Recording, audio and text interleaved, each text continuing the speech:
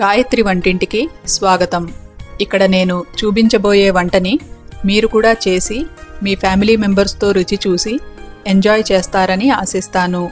ఈ వంటలపై మీ అభిప్రాయాలు ప్రశ్నలు నాకు గాయత్రి ఎట్ గాయత్రి వంటిల్లు డాట్ కామ్ ద్వారా తెలియపరచగలరు.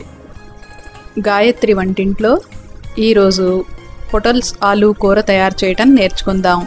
దీనికి కావలసిన పదార్థాలు ఏమిటో ఇప్పుడు చూద్దాం. పొటల్స్ మూడు వందల గ్రాములు. వీటినే పర్వళ్ళని కూడా అంటారు. బంగాళదుంపలు రెండు వందల యాభై గ్రాములు. మినప్పప్పు రెండు టీ స్పూన్లు. ఆవాలు ఒక టీ స్పూను. జీలకర్ర ఒక టీ స్పూను. పచ్చిమిరపకాయలు మూడు. అల్లం చిన్న ముక్క. కరివేపాకు కొద్దిగా. పసుపు పావు టీ స్పూను. ఉప్పు ఒకటింబావు టీ స్పూను లేదా రుచిని బట్టి వేసుకోండి. నూనె ఐదు టీ స్పూన్లు. ఇప్పుడు ప్రిపరేషన్స్ని చూద్దాం. ముందుగా పొటల్స్ని తీసుకుని శుభ్రంగా కడిగి సన్నగా పొడుగ్గా ముక్కలుగా చేసుకుని పెట్టుకోండి. అలాగే బంగాళదుంపల్ని తీసుకుని శుభ్రంగా కడిగి పైపెచ్చు తీసేసి సన్నగా పొడుగ్గా ముక్కలు కట్ చేసుకుని పెట్టుకోండి. ఒక మైక్రోవేవ్ సేఫ్ బౌల్ తీసుకుని దాంట్లోకి బంగాళదుంప ముక్కలు అలాగే పొటల్స్ ముక్కలు వేసుకుని ఆ పైన ఇరవై ఐదు మిల్లీలీటర్ల నీళ్ళు పోసి ఆ బౌల్ని తీసుకెళ్ళి ఓవెన్లో పెట్టుకోండి.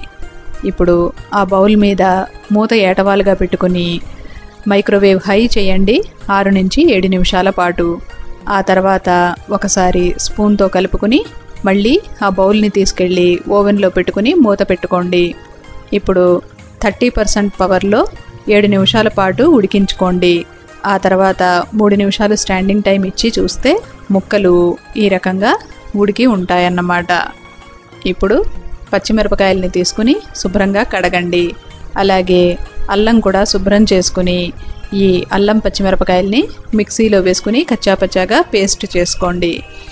కరివేపాకుని శుభ్రంగా కడిగి పెట్టుకోండి. ఆకులు కనుక పెద్ద పెద్దవిగా ఉంటే సన్నగా తరుక్కుని పెట్టుకోండి. ఇప్పుడు ఈ కూర తయారు చేసే విధానాన్ని చూద్దాం. ముందుగా స్టవ్ మీద మూకుడు పెట్టి వెచ్చబెట్టండి. దాంట్లో నూనె వేసి కాయండి. నూనె కాగిన తర్వాత ముందు మినపప్పు వేసుకోండి. ఈ మినపప్పుని లైట్గా రంగు మారేదాకా వేయించుకోవాలన్నమాట. ఆ రకంగా మినపప్పు రంగు మారుతున్నప్పుడు దాంట్లో ఆవాలు వేయండి. ఆ పైన జీలకర్ర కూడా వేసుకుని ఈ తిరగమూతనంతటిని బాగా ఫ్రై చేసుకోండి. ఆ తర్వాత సన్నగా తరిగిన కరివేపాకు తొక్కి ఉంచుకున్న అల్లం పచ్చిమిర్చి ముద్ద ఇవి వేసి బాగా కలపండి. ఈ పచ్చిమిరపకాయల్లో కారం పోవాలన్నమాట. ఆ రకంగా బాగా ఫ్రై చేసుకుని ఇప్పుడు ఇందులో పసుపు వేసుకోండి. పసుపు వేసి ఒకసారి బాగా కలుపుకుని అది మాడక ముందు వెంటనే ఉడికించుకున్న కూర ముక్కలు వేసుకోండి.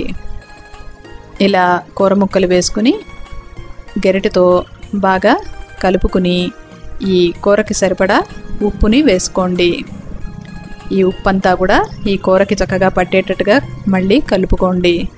అంతా ఈ రకంగా కలుపుకుని ఇప్పుడు మూత పెట్టి సన్నని సగం మీద మూడు నుంచి ఐదు నిమిషాల పాటు మగ్గనిచ్చి చూస్తే కూర దగ్గరకు వచ్చి తయారవుతుందన్నమాట.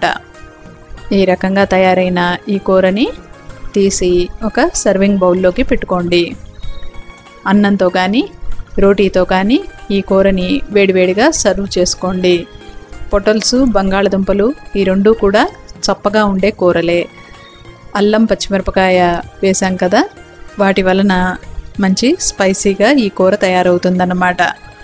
ఎంతో సింపుల్గా ఈ కూరని రోజువారీ కూరలాగా తయారు చేసుకుని ఎంజాయ్ చేయొచ్చు. ఈ మూవీ క్లిప్ ద్వారా ఈ రెసిపీని మీరు కూడా తయారు చేసుకుని ఎంజాయ్ చేయండి. ఈ రెసిపీకి సంబంధించిన డీటెయిల్డ్ డిస్క్రిప్షన్ టిప్స్ మీరు నా వెబ్సైట్లో చూడగలరు. ఇలాంటి మరెన్నో వంటలని మీరు నా వెబ్సైట్ గాయత్రి వంటిల్లు డాట్ కామ్లో చూడగలరు.